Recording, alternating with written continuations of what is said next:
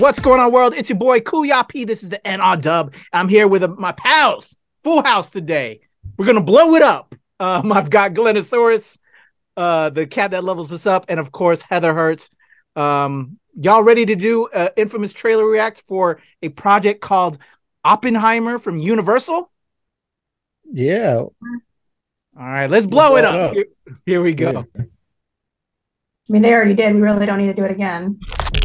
So many people died the first time. Yeah, What is that? you know what? That's kind of a bad. Yeah, I This shouldn't is a have that. national emergency. Detonator charged.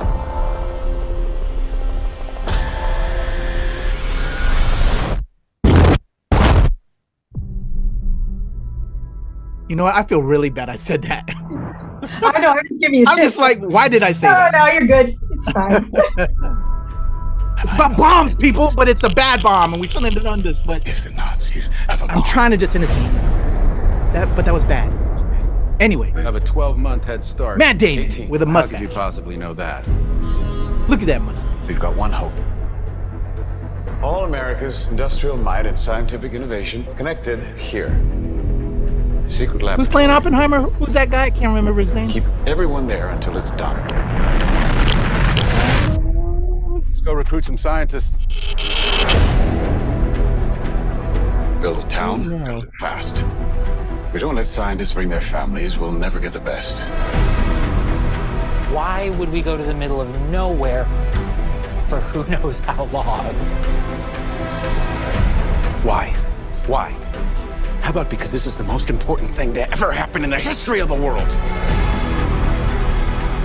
You're the great improviser, but this you can't do in your head. Are we saying there's a chance that when we push that button, we destroy the world? Chances are near zero. Near zero. What do you want from theory alone? Zero would be nice.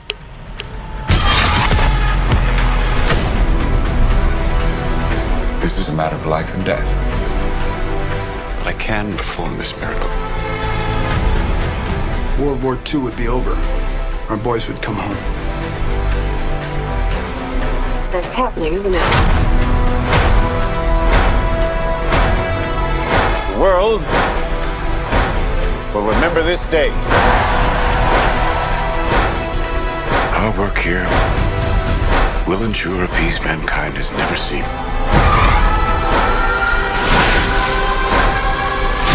Until somebody builds a bigger one.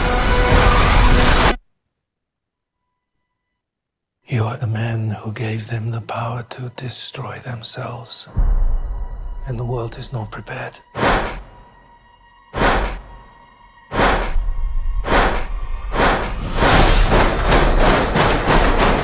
Eight, seven, six, five, four, three, Truman needs to know what's next. two, What's next? one. Wow. All right, there we go. Oppenheimer. and the answer is Cillian Murphy, Scarecrow I- from Dark Knight Rises. Yes. Thank you, Heather. Or from Peaky. Blinders, whatever one you like. All right. Well, Heather, since you're up, uh, what do you think about that project? Um, I mean, it's a Nolan project. We saw the entire film in three minutes. and Now we're gonna get get it in three and a half hours. I mean, that's just Nolan for you. Yes. Um, I think it's going to be an absolutely beautiful film. I think it's going to be drawn out in unnecessary ways, like Nolan likes to do, but it's going to be beautiful and it's going to be masterful and it's going to change the way some types of films are done in the future. Um, but it's going to be a very long film. It's going to be a very, very long film. All right. How about you, Glenn? I think uh, I, deservedly so. I think, you know, when you're talking about people who figured out how to destroy planets, like, yeah, it's like I want a long explanation of what the fuck, what the hell they were thinking. And the other thing that it may be that all like Nolan things are is loud. It'll probably be very loud. Very loud. It'll be very. Oh, the shaky. audio is gonna be insane. It's gonna, it's gonna really hit you in that Dolby. Yeah, theater. it- it- there's gonna be it's gonna rumble and shake uh just as if uh, an explosion had gone off. It looks it looks cool. I mean this this is a story that um you know the, the thing that i uh, i feel like we always get stories of history and then people take that as the gospel and then no longer investigate history. You know what i mean? So that that is one thing that i'm i, I worry about. But i do want to see the story told and told in in a nolan way. That's uh very interesting. He's he's done I don't know. He just got off of the superhero thing and now he's doing like uh you know, like he did like time travel and time jumps before.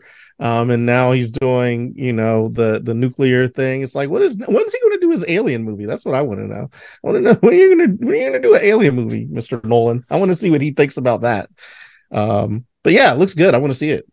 All right. Um, first off, uh, I just want to apologize again for my earlier comments Um, I was totally very, joking. Oh my gosh, you're fine. I meant to be. It was very jokey, but I know. And just in case uh, we have anybody that was affected by, you know, Nagasaki, to, you know, relatives, all of that, I just want to be considerate for you all. So, uh, just my apologies on that. Because I when I think about at the same history, time, when I think about history and I think about this story, I think, well, in regards to the film, this looks beautiful. Um, Nolan's a masterful storyteller to uh Heather's credit, he can go be a little bit long-winded and, and long in the tooth. Long shot. But uh I think you know he he is a masterful storyteller. He he knows how to construct a film. Um and so w- which will be very inspiring and very, very entertaining and educational. But I will say, you know, uh and to you to your point uh, as well, Glenn, um we I want to hear these stories. I want to hear they're told, but also I hope that it provokes people to actually read more outside of the film and not just take this as all consuming and what everything is all about. There's more to the story. So please learn more about the story. And yeah, I just I I'm sad about the this story in because I think we all are. The, this story is about how somebody learned how to, to blow shit up and could possibly blow up the world. And I this is a this is a huge moment in our in man's history.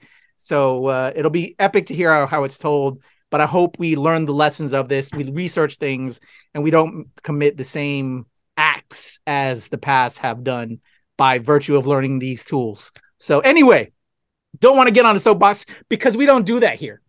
Right, Heather? We don't get on a soapbox. I've never, I've never so, gotten on a soapbox. Uh, if y'all want to talk all things Oppenheimer, reach out to us. Heather, how can the people reach out to you? Sure, you can reach out to me about those incredibly long shots and how mad you are that I would ever say anything bad about Christopher Nolan. It's not bad. Uh, at Nerd is a Heather on Twitter and at Heather is a Nerd on TikTok and Instagram. Thank you, Heather. And how about you, Glenn?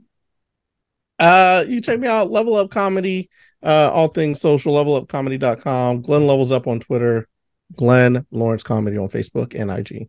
There you go. Follow my peeps. And for me, it's the Legend Kuya P on Twitter, TikTok, IG Hive, and of course, here with Heather and Glenn at the NRW and at Release Wednesday, where nerds rule the world. Let us know if you are checking out Oppenheimer in the comments below.